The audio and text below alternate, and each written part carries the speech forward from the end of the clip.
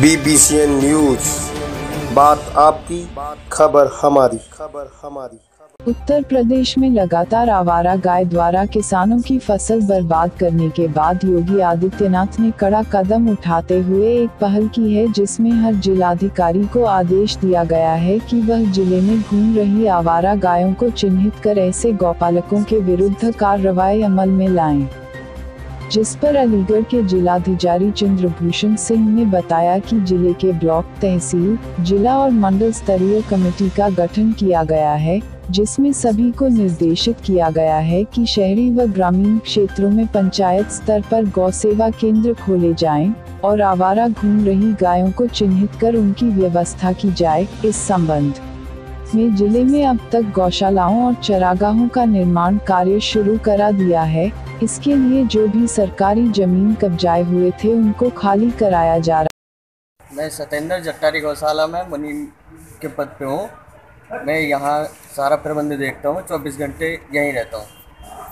अभी इंग्लास से कुछ गाय भेजी गई थी प्रशासन द्वारा, उसमें सत्रह ट्रक लोड हो, सत्रह ट्रक लोड होकर आए थे। उन ट्रकों में इतनी बुरी तरह से किसानों ने गायों को भरा था कि उसमें ऑन द स्पॉट चालीस पैंतालीस गाय तो ख़त्म हो चुकी थी हो गई थी और उसमें कई घायल हो गई थी और कुछ मरने की कंडीशन में थी। तो अब तक लगभग सत्तर पचहत्तर गौवंश हमारे यहाँ पे ख़त्म हो चुका है। ये जो चारे वारे की व्यवस्था चारे की व्यवस्था किसानों द्वारा हो रही है और सब उधार में आता है। एक एक किसान का चार चार छः छः लाख रुपये कर्ज में डूबी हुए हैं।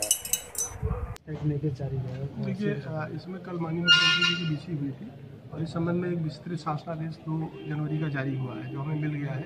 इसके परिप्रेक्ष्य में हमने आज शाम की बैठक भी बुलाई है सारे अधिकारियों की। इसमें ब्लॉक स्तरीय कमेटी तहसील स्तरीय कमेटी और जिला स्तरीय कमेटी मंडल स्तरीय कमेटी का गठन किया गया है। जिसमें ये निर्देश है कि प्रत्येक शहरी क्षेत्र और ग्रामीण क्षेत्र में पंचायत स्तर पर गो गो सेवा केंद्र की स्थापना किया जाए, पशुओं का आवारा, पशुओं का चिन्हांकन किया जाए, चिन्हांकन करके उन्हें व्यवस्थित रूप से अवस्था, अवस्थापित उनको किया जाए। इस संबंध में हमारे, हमने लगभग अपने ज़िले में बीस से तीस हज़ार गोवंश को बनाने के लिए जो निर्माण कार्य हमने शुरू करा दिया है। हमारी एक सरकारी गौशाला बन रही है गवाना तहसील में। इसी प्रकार से हमने चरागाह, सत्रह चरागाह को गौशाला गौ सेवा केंद्र के रूप में विकसित कर रहे हैं। कुछ हमारी सरकारी ज़मीनों पर पहले से बाउंड्री और पानी की व्यवस्था है, उनको भी जहाँ पर सरकारी ज़मीन पर कब्जा रहा है उसको खाली कराया गया, उनको भी गौ सेवा केंद्र के रूप में विकसित कर रहे हैं हम लोग।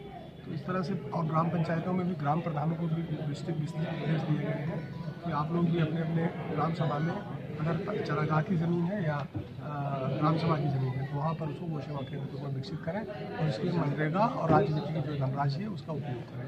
तो और साथ ही साथ ये भी निर्देश है कि जो लोग आवारा गोवंश छोड़ रहे हैं, जैसे कुछ डेयरी संचालक या गाँव के लोग, ऐसे लोगों को भी चिन्हांकित कराने का काम चल रहा है और चिन्हांकित करा करके उनके विरुद्ध पशु अधिनियम के अंतर्गत कार्रवाई भी की जाएगी। हमने अपना एक कंट्रोल रूम स्थापित किया है। अगर कहीं से शिकायत मिलती है किसी व्यक्ति ने अपने जानवर को आवारा छोड़ दिया है और वो खुद उनकी देखभाल नहीं कर रहे हैं तो उनके विरुद्ध पशु क्रूरता अधिनियम के अंतर्गत कार्रवाई भी होगी। वैसे टप्पल में जो गौशाला देखिए है टप्पल हाँ। टप्पल में कुछ इस तरह की खबरें आई मैंने कल भी डॉक्टर को भेजा था पूरी हमारी डॉक्टरों की टीम जाके देख रही है। अब क्योंकि जो जो जो जानवर कुछ इस तरह के हैं जिनके मरने की खबर है। बाकी वहाँ पे किसी प्रकार की कोई दिक्कत नहीं है। हम लगातार से उन्होंने ढाई लाख रुपए उनको दिया है अलग से व्यवस्था करने के लिए। उनको बाँस बल्ली भी उपलब्ध कराया है सुरक्षा के लिए। तो डॉक्टर्स भी हमारे सी बी ओ मुख्य पशु अधिकारी डेली भ्रमण कर रहे हैं। वहाँ डॉक्टरों की टीम लगी हुई तो ऐसा ऐसा कुछ नहीं है कि उनके लिए कोई व्यवस्था नहीं व्यवस्था हो रही है। राष्ट्रपति पदक सम्मानित विमोक्ष चटका मशीन। अगर आप परेशान हैं अपने खेतों में आवारा पशुओं के आतंक से या फिर आप परेशान हैं अपने घर में घुसने वाले बंदरों से तो आप लगवाएँ हमारी विमोक्ष छक्का मशीन। इस मशीन के संपर्क में आते ही आवारा पशु, कुत्ते या बंदरों को इलेक्ट्रिक झटका लगेगा, जिससे वह दोबारा वहाँ नहीं आएँगे। इस मशीन के झटके से कोई जनहानि नहीं होगी। क्योंकि मशीन द्वारा तारों में फैला करंट मात्र एक दशमलव तीन वोट का है इस करंट से किसी की मौत नहीं हो सकती।